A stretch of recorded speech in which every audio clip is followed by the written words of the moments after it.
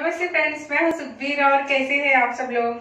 मैं ना आज ऑयल में पहले भी बनाती हूँ, रेड ऑनियन ऑयल मैं सोचे आपके साथ आज शेयर कर देती हूँ, आपको भी शायद इसका कुछ आप खरीदते हैं तो इस्तेमाल करते हैं। पहले से तो आप घर पे भी बना सकते हैं और नए फ्रेंड्स हैं जिनको हेयर फॉल है, जो हेयर ग्रोथ नहीं हो रही और बहुत सारे और भी फ़ायदे। मगर मैं आपको आज बताती हूँ कि मैं कैसे बनाती हूँ रेड ऑनियन ऑयल ना ग्राइंडर कर लेती हूँ।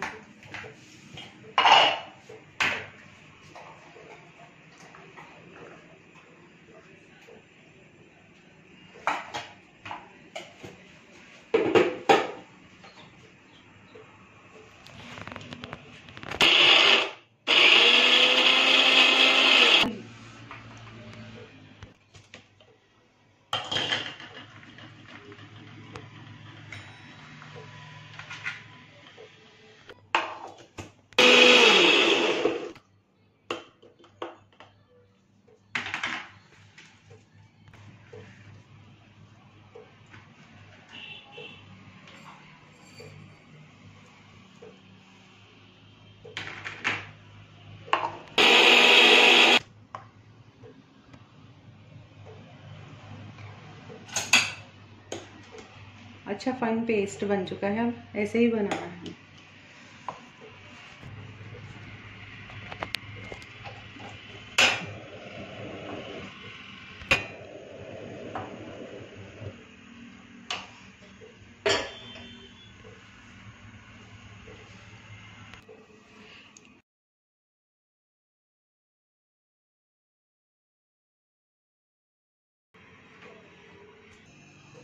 इस, ऐसे मीडियम में ही रखिए, और जैसे थोड़ा गर्म हो रहा था मैं अब इसके अंदर डाल दूँगी ये वाला।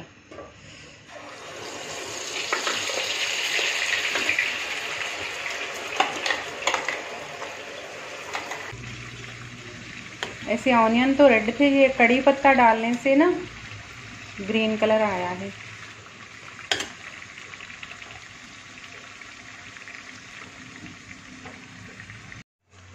अब ये एकदम तैयार हो गया। देखिए कैसे ब्राउन कलर हो गया। बीच में जो डाला था मैंने प्याज, अब मैं इसे छान लूँगी।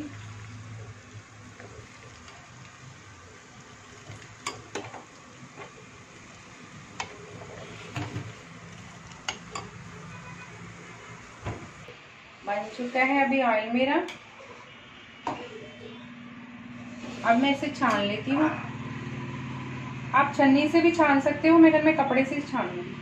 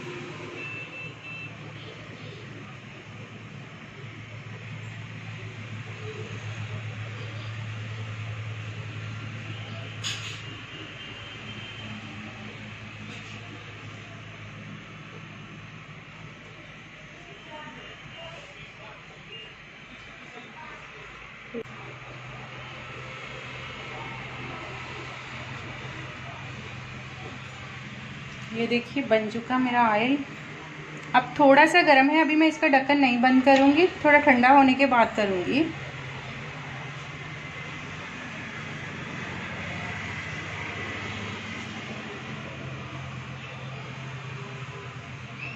जे जे जो सामान डाला था ना बीच में मैंने, वो लहसुन और प्याज कड़ी पत्ता, वो सब है।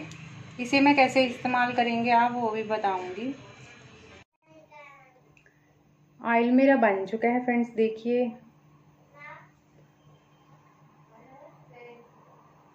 मैं इसे ज़्यादा नहीं बनाती हूँ, मैं मंथली ऐसे बनाती हूँ इसे। इत तो ये जो बचा हुआ मेरा वो मटेरियल है ना, उसके अंदर मैंने डाला था सामान, उसे मैं ऐसे फेंकना नहीं है, इसे एक स्पून लेके और एक स्पून आमले का पाउडर लेके दोनों को मिक्स करके सर में सर में पैक की तरह लगा लेते हैं। दो घंटे, ढाई घंटे उसके बाद शैम्पू करेंगे तो बालों की ग्रोथ तो आपको समझ आएगा जब आप लगाएँगे। और ये आप आंवले का लगाना चाहते हो आंवले का लगा लीजिए, नहीं तो रेठे का पाउडर भी इसमें मिक्स करके लगाएँगे तो भी उतना ही फ़ायदा होगा जितना आंवले का। और इसमें आपके पास ये दोनों नहीं मिल रहे हैं तो फिर आप मल्तानी मट्टी रहती ना, वो मल्तानी मट्टी भी इसमें लगा सकते हो पैक की तरह इसको दोनों को मिक्स करके। ये मेरा रेड ऑनियन का ऑयल बनाने का तरीका आपको कैसा लगा? आप अपने फ्रेंड्स और फैमिली के साथ शेयर कर सकते हो। और फिर मिलती हूँ नेक्स्ट वीडियो में। Bye bye friends